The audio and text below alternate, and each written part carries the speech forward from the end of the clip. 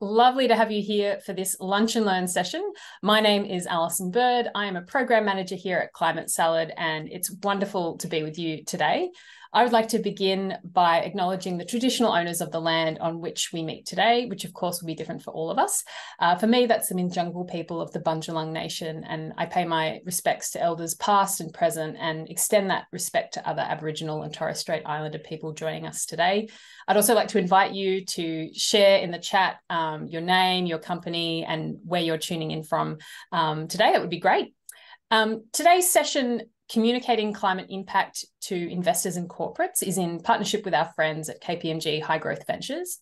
Uh, there will certainly be an opportunity for questions, so do put any that you have in the chat as we go, and we'll make sure that those get answered. I'd like to introduce Kylie Little, who I know many of you are familiar with. Kylie is the director of the climate tech team at KPMG High Growth Ventures.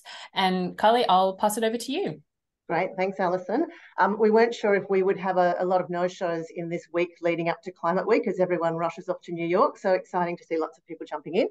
Um, so for those of you who are not familiar with um, High Growth Ventures, um, I feel like the names are getting familiar, so everyone probably is, but just in case.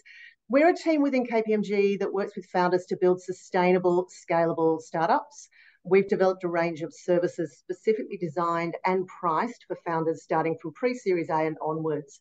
My role here is really focused in on climate, the climate tech sector and really understanding what are the different needs, how can we help you guys that might be different to others across this sector, uh, across the wider ecosystem. Um, so to jump in for today, today we're going to be talking about communicating climate impact to investors and corporations. Um, we know that understanding and quantifying climate impact, both for investors, investors and customers in a tangible way can be very challenging, um, particularly given that a lot of climate techs are solving problems that are 10, 20, or even 100 years into the future. We know from the recent Climate Salad survey as well that 66% of respondents indicated they're unable to quantify their climate impact and 18% do not have an impact measurement framework. So we can see that's really challenging for everyone. So to explore this further today, we've called on the expertise of um, one of our fabulous portfolio companies, um, Jordy Kay from Great Wrap, who's been grappling with this exact challenge for some time now and Josh Geelan, who lead, who's our lead partner for ESG and KPMG's enterprise team. So Josh brings some unique perspective in, in that he works across ESG and CFO advisory with both founders and investors. So he's got a kind of nice lens to add to Jordy's founder view. So welcome to you both. Um, Jordy, I'll, I'll start with you first. It'd be good to get a quick rundown from you on Great Wrap and, and what you guys do. Yeah, thanks for that. Um, yeah, so my name's Jordy. I'm the um, co-CEO um, uh, with with my wife Julia. Um, we manufacture compostable stretch wrap. Um, currently, um, we use uh, starch from tapioca and potato waste. We're transitioning to a carbon capture system in the next few years that'll have our material made from 100% um, CO2 emissions. We have a uh, 10,000 square meter factory um, in Tullamarine where I currently am. And I realize I've probably got a whole bunch of our IP right here on the whiteboard if you want to figure out our formula. Zoom in, zoom in. I think it's a die head design, but uh, go for it. But um, yeah, so we, we have a um, 10,000 square meter factory um, that um, for any manufacturing buffs, it used to be the Willow factory, the old blue and white Eskies. Um, sadly, they went under in 2007, and now we we operate out of this big, beautiful space. Um, we have a team of 25 people um, uh, and sell across Australia to a lot of big FMCGs. Um, you know, obviously working closely with Woolworths because they're one of our major investors, um, and then uh, sort of expanding to the US, working with a major retailer there at the moment as well. Um, and I'll probably hand it over to Josh. Right, thanks, Josh. Awesome. Thanks, Jordy. Um, so a few familiar faces on the call today, so great to see you all again. Um, that, for those that haven't heard me uh, before, so my name is obviously Josh. I'm a partner with KPMG. I've got two roles. Um, so as Kylie said, I'm the lead partner for ESG in our mid-market practice, which means I work with high growth ventures, venture capital funds, private equity funds, and family offices uh, predominantly. Um, and then I'm also a CFO too, basically the same. So I work with a whole bunch of high growth venture clients and then some family offices and, and businesses around them. Um, prior to coming to KPMG, though, I don't have a typical uh, maybe big four partner background, you could say. Um, so I've been a founder myself three times, both in the US and here. um, and also used to be a CFO for a leading fintech in Sydney. Um, so, yeah, certainly bring a broad perspective, and uh, look forward to today's discussion. Good, thanks both. Um, so um, I'll start with you, Josh, because it's interesting. A year ago, I'd say that we were having lots and lots of conversations in market with everyone sort of desperately trying to work out how do I do ESG reporting at really early stage and what does that need to look like. And we had founders looking for this. We had VCs looking for very much that ESG reporting piece almost as a standalone, as kind of like how do I do this thing that conveys my impact. Um, and that feels like it's shifted a little bit, like it's shifted in, in, in some ways for us over the past 12 months. It'd be great to get some insight from you of like, one, what are the drivers behind this sort of massive push around that space, and then how you're seeing that that sort of changing at the moment. Yeah, absolutely. Pardon me. I, think about a year ago we saw this real rush towards um, VCs and PE outfits really wanted to update their ESG mandates. And what like when we started working with them and looking beyond, well, you know, why do you want to do this? What it came down to was where does their capital come from? And whether it's institutional or family office, what we we're finding was, know, Australian super, super, ethical super, some of these really big institutional providers of capital to the VCs were basically saying, you won't get our money. Like you literally won't get our money unless you can prove minimum standards around what you're investing in and the impact that creates. And so that created, I guess, two lots of opportunities within the VC world where they were saying, well, hang on, just to get access to, to next capital raise at the VC, we need to be eligible, you know, for the main institutional providers, but also can we create a new fund? Can we create an impact fund or product and then go out there and actually raise capital to do that as well? And of course, several iterations of that are now in market. But the other big thing that's really kicked off, so that's that's really happened and, and been happening already. So we've worked with VCs and PEs. Most of them, I would say, have now got screens of some sort. You, you might not see them. Some are quite actually overt. Um, but the big change we're seeing now is really family office. And they don't think about it as ESG, but they do think about it as impact. And they certainly think about it as family values and purpose and how they create that legacy of what they want to invest in. So that that is the last, I guess, trend that we're seeing.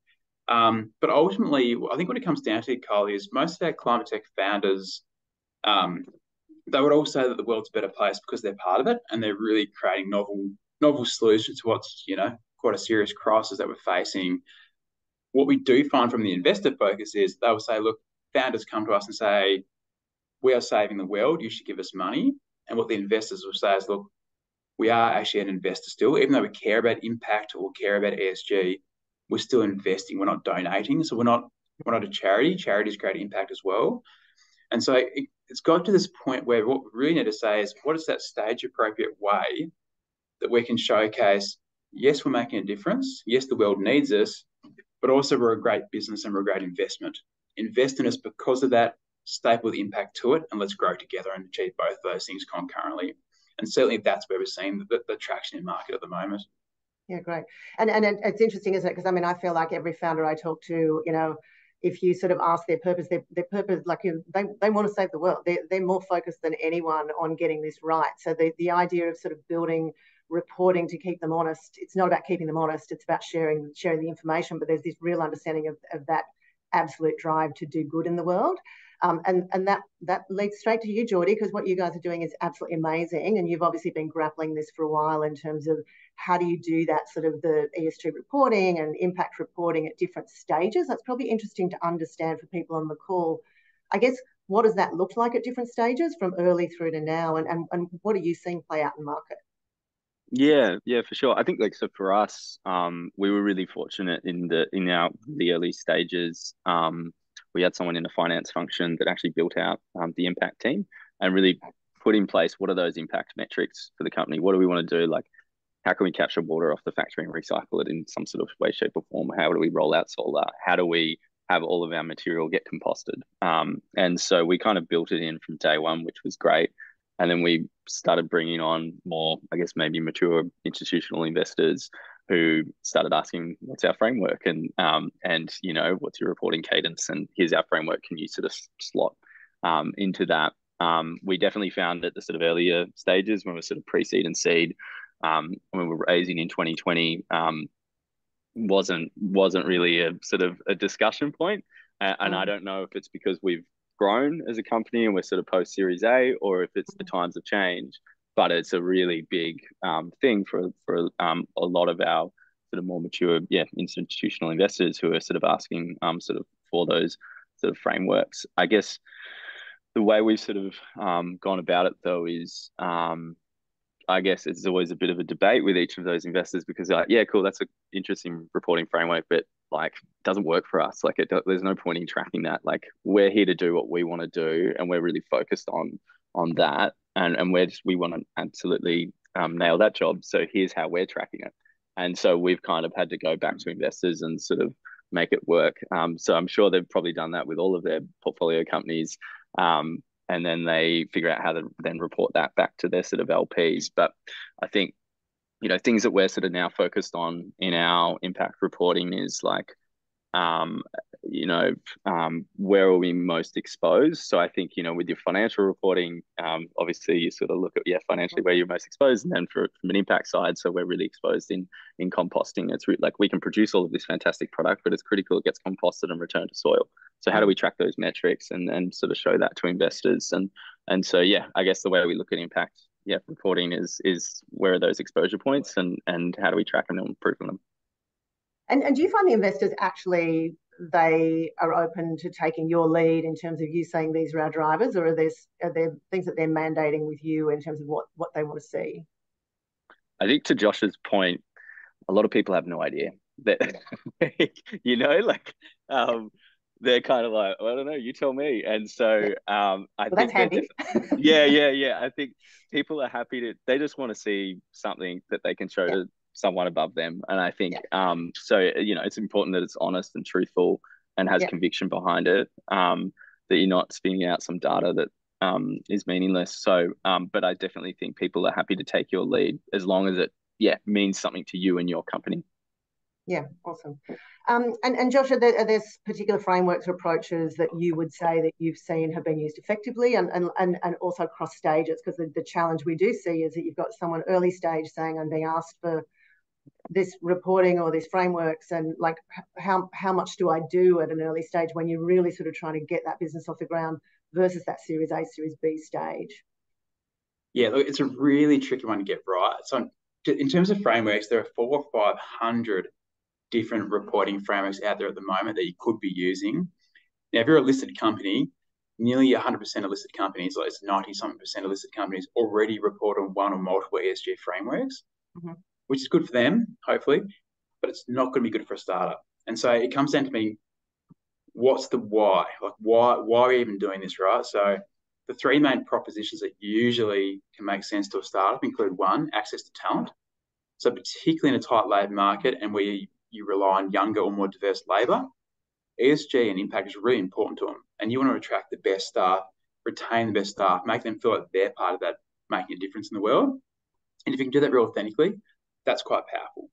So that's number one. Number two is access to capital, which is VCs, family offices. The question there is which framework are they using, if any? And to Jordy's point, sometimes they're like, I don't know, just give us something nice we can then give to our you know, ultimate investors, right? Which might come down to which framework are they using. So think about where are you trying to get your capital from? Because if it's a VC, look through them to think about where is their money come from? What do those investors think about? Because if that's Australian super, you can actually go and look it up and see hmm. exactly what they care about because you know that's what they're going to talk to the VC about. You can also ask your VC for the ESG screen if they have one. So about half of them do, give or take. So you can ask in advance around, okay, we've got a Series A coming up. We want to make sure we're on a, you know, a positive foot. Ask for the screen and, and do it in, in like an internal self-assessment early on and find out what it looks like. Now, if you're attracting or want to attract family office, don't even call it ESG think about their family values and purpose, what the family stands for, and what impact the family wants to create, if any. That's what they'll care about. They'll care much less about a formalized framework and much more about just telling about how you're going to change the world and whether we align to that from a values perspective, which is much more around what Jordy said before. And the final value proposition is really around uh, access to customers. So, for example, Woolworths Coles, European markets, American markets now as well. Like those major customers, and we're seeing come through procurement panels, particularly on government and, and tier one customers, are really driving a lot of downstream behaviour. What is also a game changer in that space is the upcoming IWSB or International Sustainability Standards Board. That disclosure framework is becoming mandatory 1 January next year for listed companies. Now, it's also coming in mandatory behind it for private companies and as in large reporting private companies. We don't know when that is, but it's coming, but it's also up and downstream. So basically, if, if one of those bigger entities is your customer or target customer, they will have to be asking you shortly how you perform. So you get, we've got a bit of a compliance push happening there with a set framework, which we know it looks like. The opportunity for our climate techs is really think about, well, how do we disrupt that? Because a lot of climate techs are there to disrupt legacy players. So if you can look at those customers go, well, I know they've got a mandate, I know what their framework is, and I know they've got a real problem coming up with the IWSB or the TCFD, how can I practically solve that problem for them and disrupt and dislodge one of my competitors or you know more traditional competitors? So we're seeing a lot of advantageous strategic behavior in that sense as well around well, how do we use this to our advantage versus seeing it as a, as a compliance activity. So to answer your question, Kai, it really comes down to what's in it for us as, as a startup and when is the appropriate time. Certainly, if you're going to do an IPO, you've got to be all over it. But if you're still proof of concept, I wouldn't worry about that much. I would do exactly what Jordy said and think about. Just ask yourself the question: Is the world a better place because we're part of it? Are we part of the solution to this climate challenge?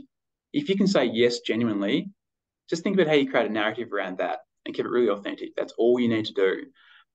And then work towards pre exit being all over this from a compliance perspective and having all the frameworks in place.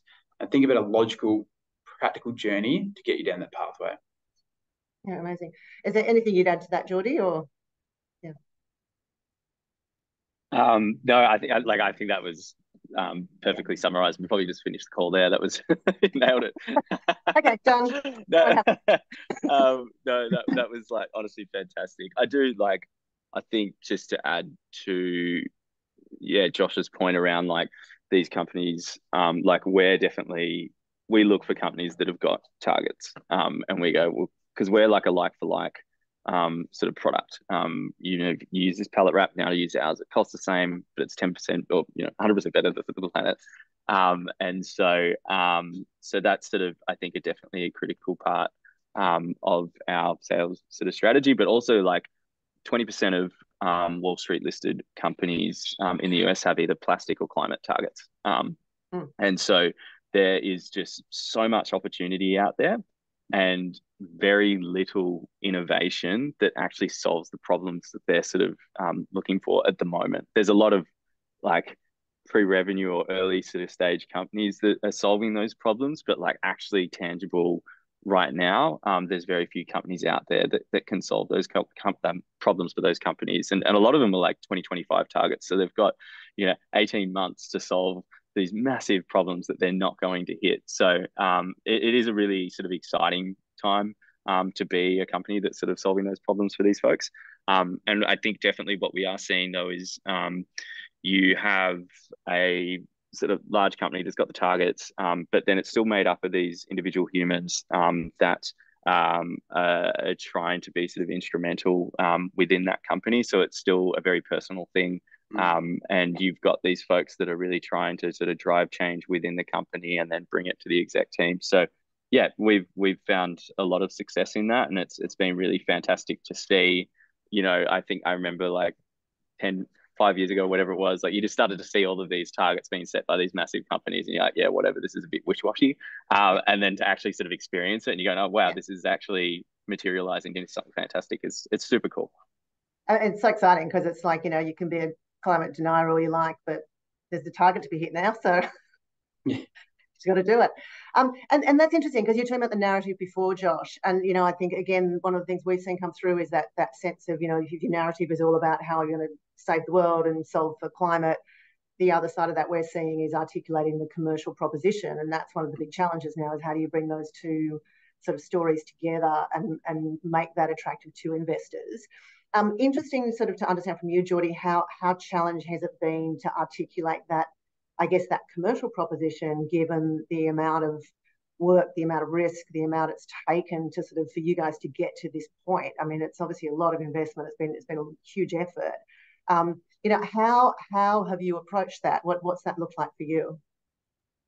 Yeah, it's been it's been really interesting. So I think like in Australia, um, we're really cautious as a market um, of greenwashing. Um, so I think like when we go to companies and we talk about our product, like they want to see all of the data, they want to see everything because if they're going to announce that we're switching to Great Wrap, um, you know, they are potentially going to get like crucified in the media or going to be really celebrated and and and mm.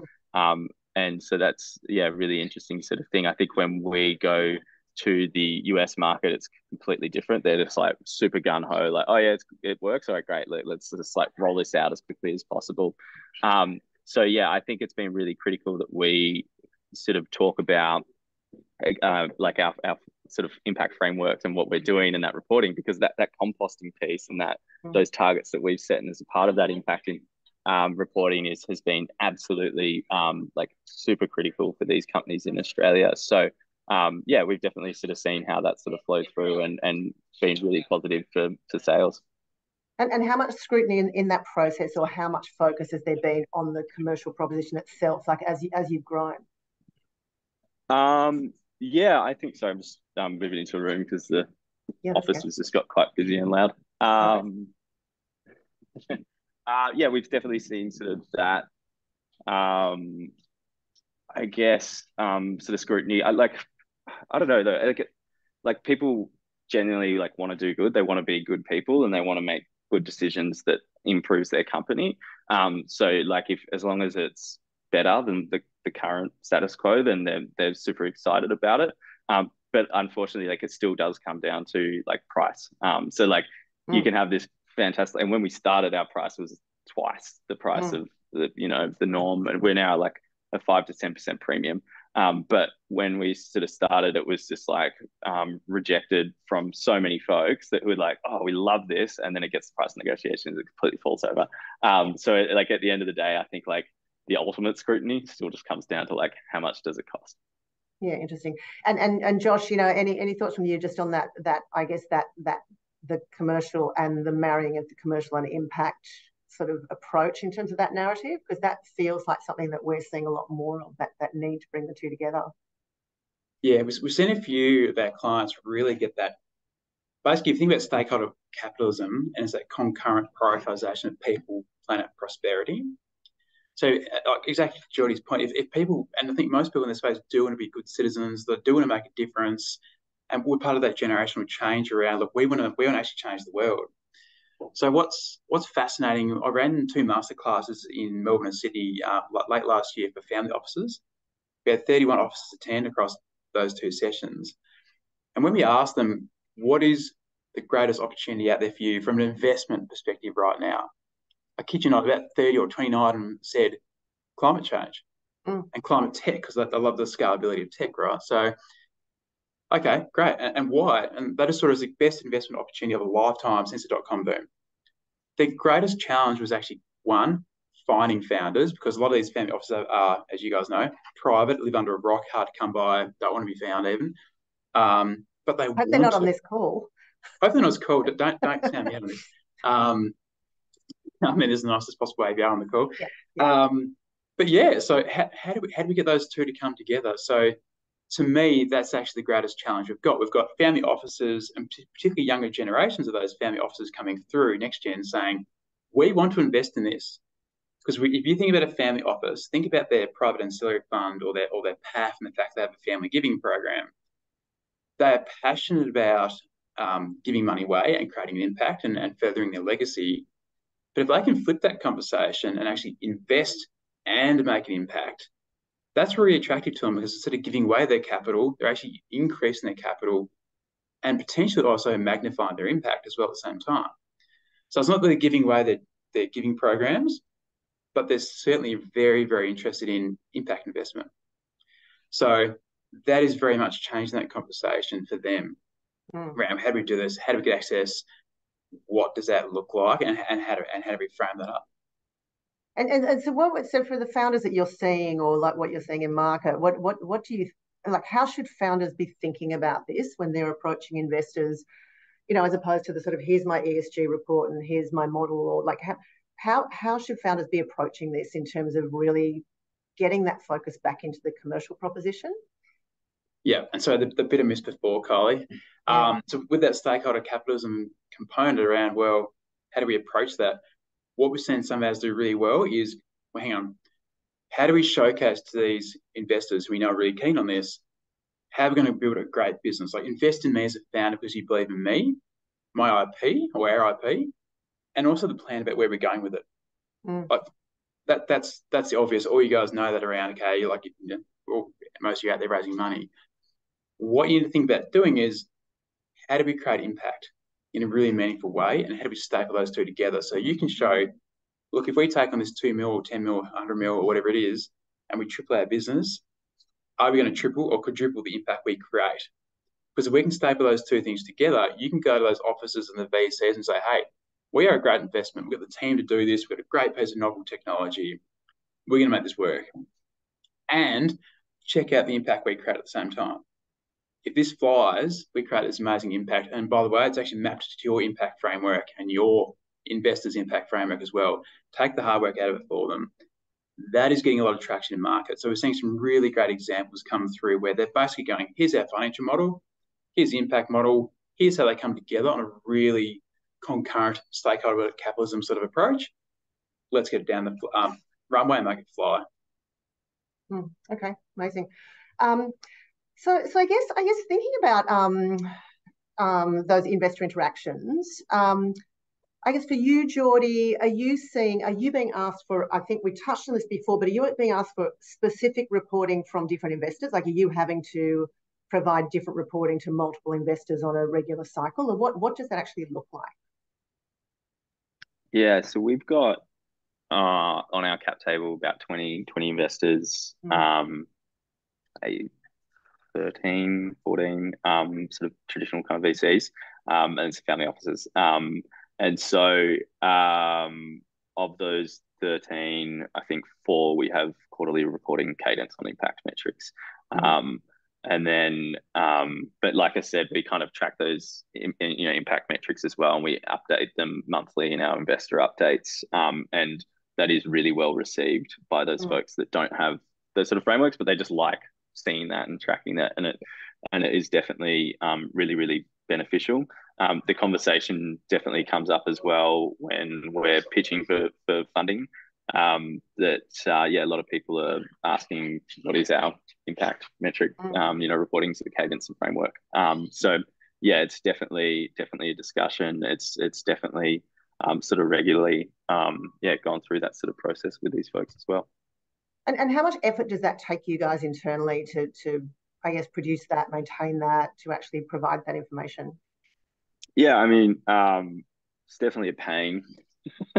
like, yeah. You know, it's like you got a million things to do, and you're yeah. like, oh, I can't, I don't have the time to like figure out how much we produce this much versus how much was composted yeah. down at Geelong City Council and Brisbane City. You know, like you just got like way, way more sort of um, other things on your plate, but um, the team, uh, like as a team, like everyone there's buying because everyone's like yeah. this is the reason why they came to yeah. Great Wrap and and why we could attract great great team members is because of the impact. So actually reporting on that um, you know, people love doing it, and so I've I've sort of been able to uh, like I used to do it with with Julia, and and uh, like I said, it was like really frustrating because you're trying to prioritize. But um, now that it's sort of managed by everyone else on the team, um, it's been fantastic. It. Someone else is doing yeah. it. yeah, yeah. and, and, it must, and it must be so satisfying for you guys actually seeing like seeing that output. Like it's it's exciting.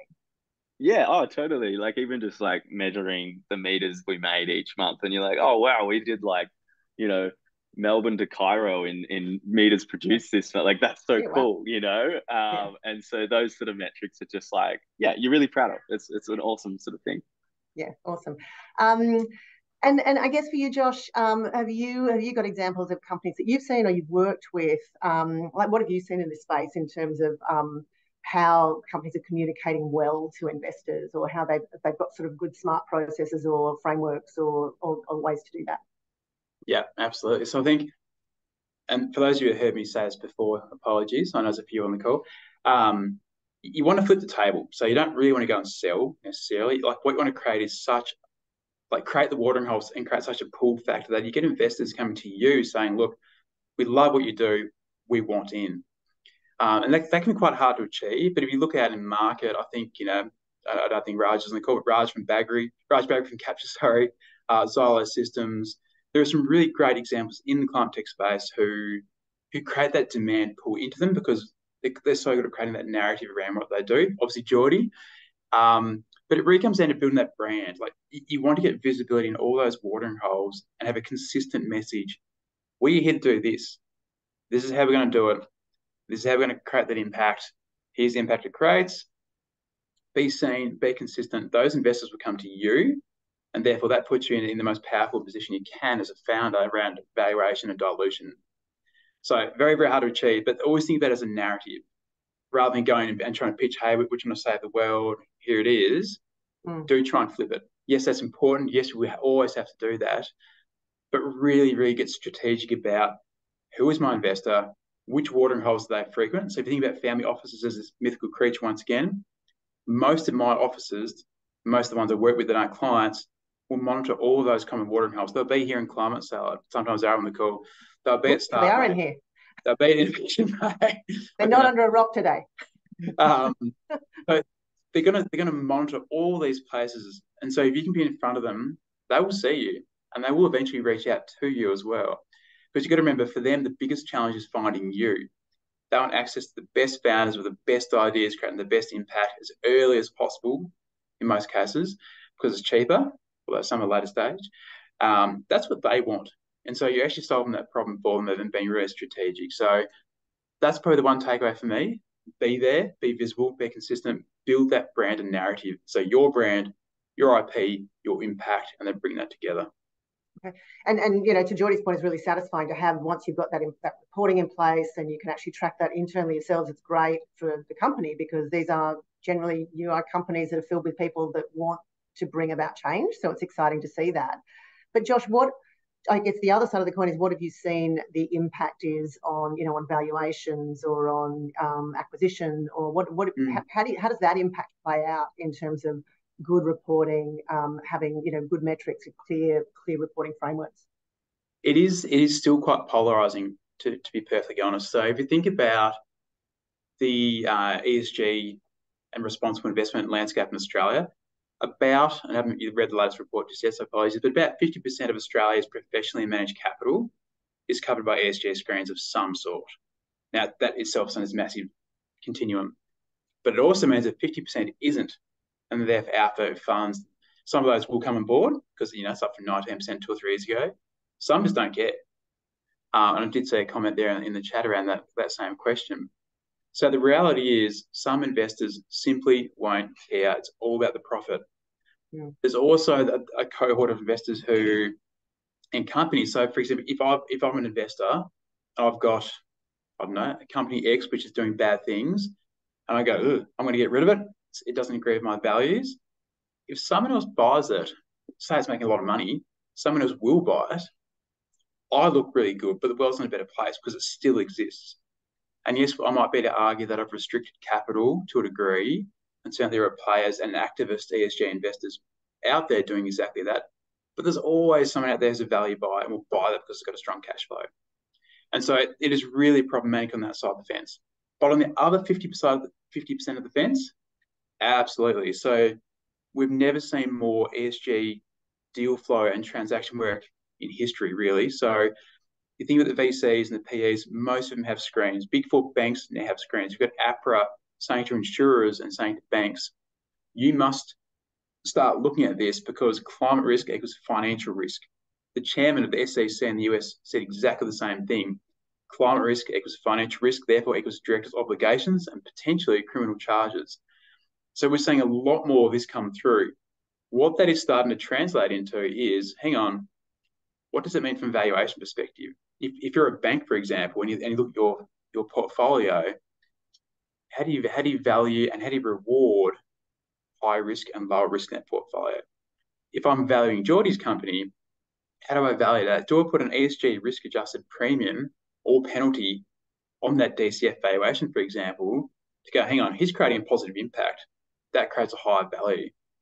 Likewise, if you've got a negative industry, you're going to put an ESG risk adjusted charge effectively and, and downgrade that rating. That is already happening. on that side of the fence.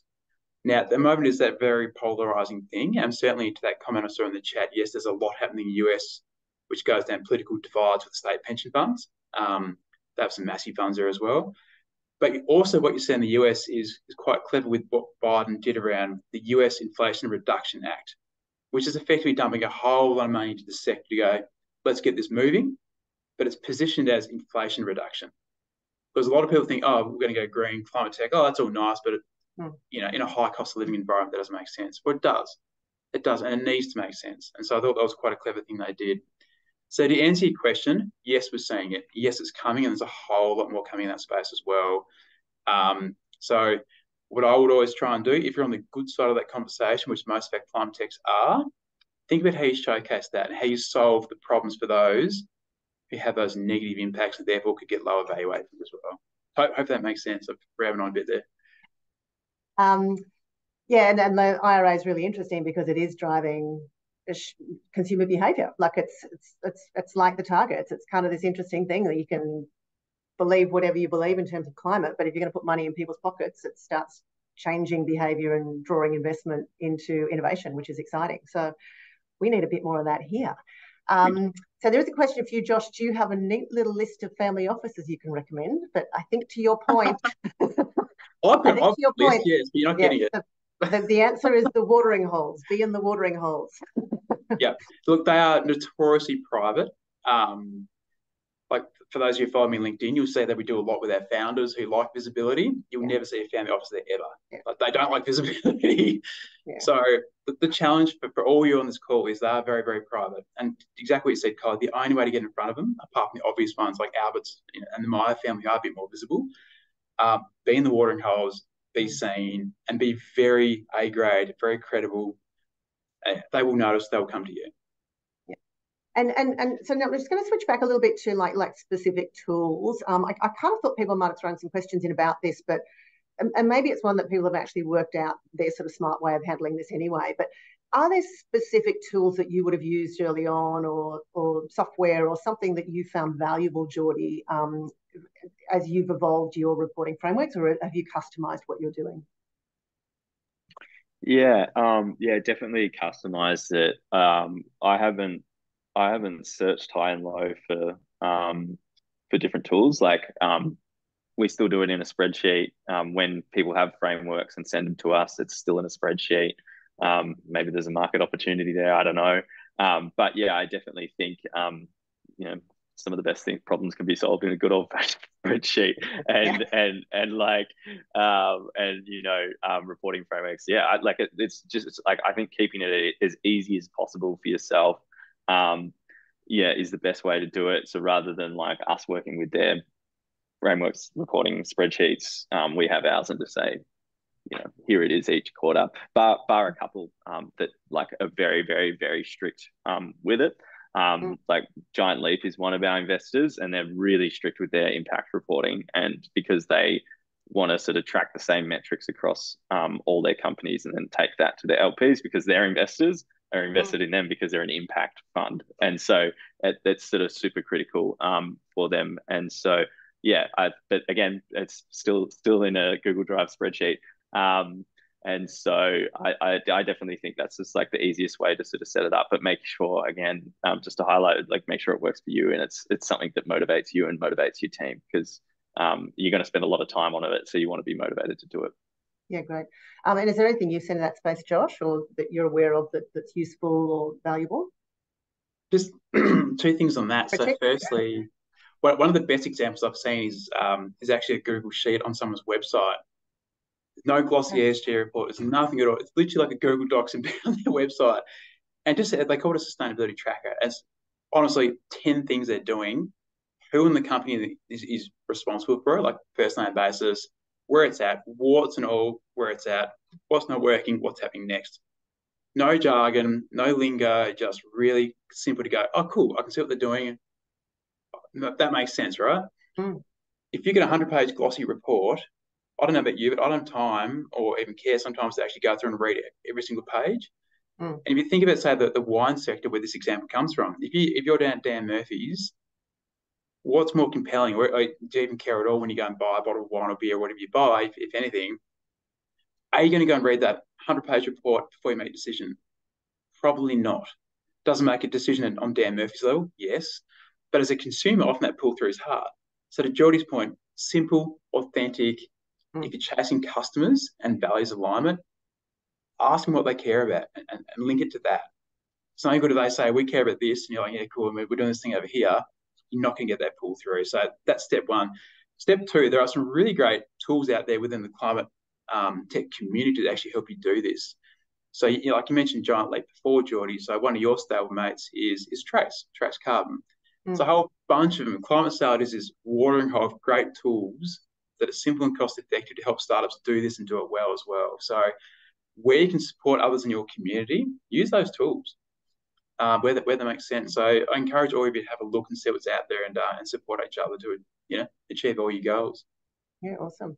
Um, and so switching to like like sort of working with customers and suppliers, like, and I guess you know the, the you know investors are one thing, but then actually when you start getting into sort of the customer space, Jordy, what's your experience there in terms of, of, of, how you work with those customers, what their expectations are from you in terms of reporting and understanding, you know, what are your core metrics? How much do they need? Is it very different to investors, or is it is it kind of similar? Is it the same information that you're really sharing with them as well? Yeah, I would I would say it's um it's more of a one off rather than reporting. So like mm. here's what we've done. Here's you know here's mm. the glossy report. Um, yeah, yeah. But, yeah, it's definitely not not a hundred pages. That's for sure. Like it's it's more like three pages, and it's you know and here's our certifications and here's um, um all the data and um that that that's really important. That that product catalog we have is um our greatest sort of sales asset because you can say pitch this fantastic thing because I think like you know I, like probably a lot of folks on this call like your, your company is probably highly technical and a lot of folks mm. you know might not understand exactly what you're doing or how it's made and um and so yeah I think it's just really critical to kind of have that um background sort of data and, and, and metrics to sort of prove that what you're doing is actually legitimate and and it is good for the planet um, mm. So yeah, I think it, it is it is really important um, for sales. For some of our really big customers, though, it's definitely that next level of um, kind of quarterly reporting on, um, like I said, how much is being composted. Um, yeah, uh, I think that's that's really like the biggest one for us and those large customers is um, if we're going to go circular, we want it to actually be circular. Um, so mm. that's that's super critical. Yeah. Um, and, and and Josh, have you have you seen anything with with? I know you've worked with clients who've sort of gone looking for innovative solutions. Have you seen anything from that that sort of end customer end in terms of what they need to see or what they're looking for from I guess from innovators to actually say you are going to fit the need that I have. You know, I'm trying to meet this target, and to meet that target, I need these companies to show me certain metrics. Have you have you seen any of that play out?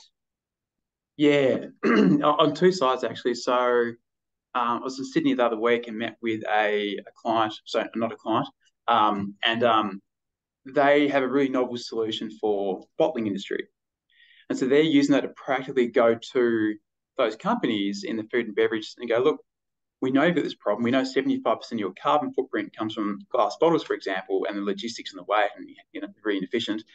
We can solve that and at a lower price point suddenly they're interested on both fronts because they know they've got that reporting pain and obviously essentially to a price everyone's can anyway. So they're using that from that strategic perspective.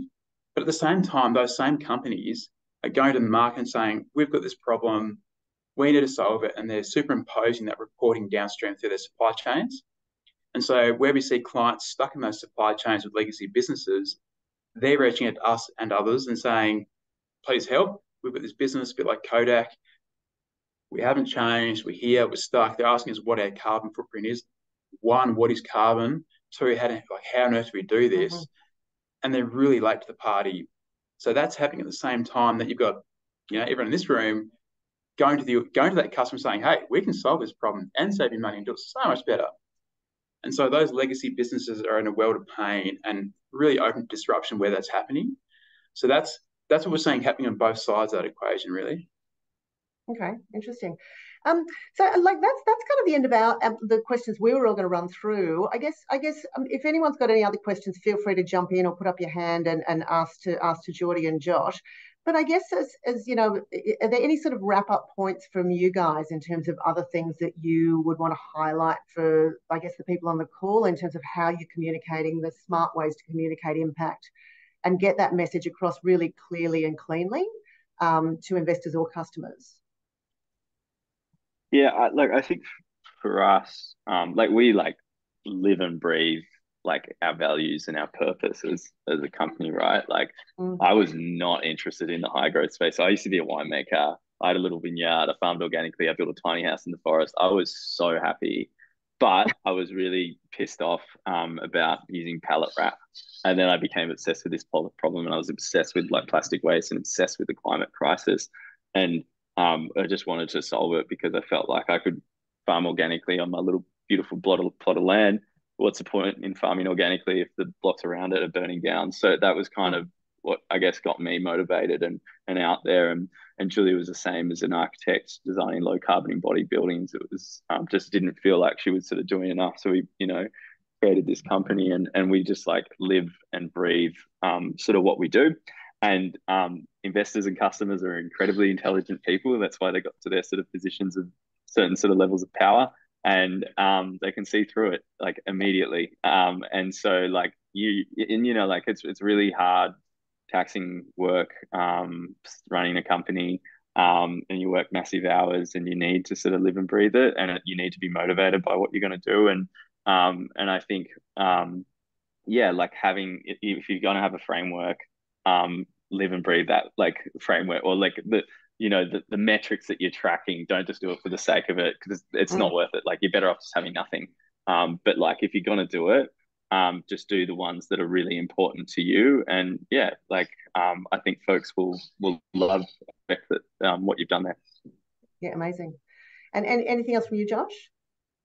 Uh, probably the final piece is to think about becoming um, this might not be the best term for it but be a capitalist greenie so really think about the impact you're creating but be a capitalist as well. Those two things can happen together. Um, that term's going to with the fee. I like it. I like it, Josh.